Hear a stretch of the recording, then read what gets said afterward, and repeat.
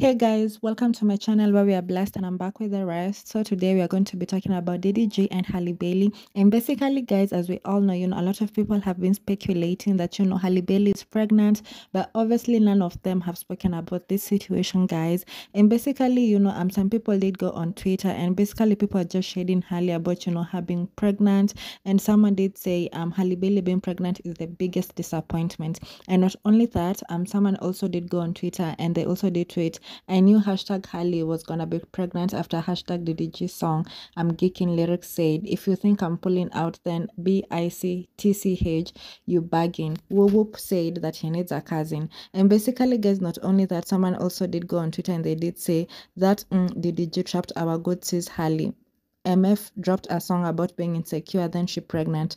SMH. You know, and basically, guys, it seems that you know people are um attacking DDG because people do think that you know he basically did trap Halle Bailey.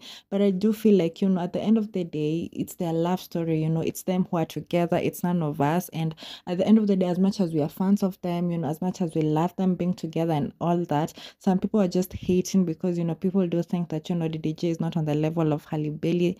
And basically, I just feel like you know Halle Bailey herself loves DDG. You know, as much as he's a YouTuber and you know she's obviously in um she's obviously in the Hollywood.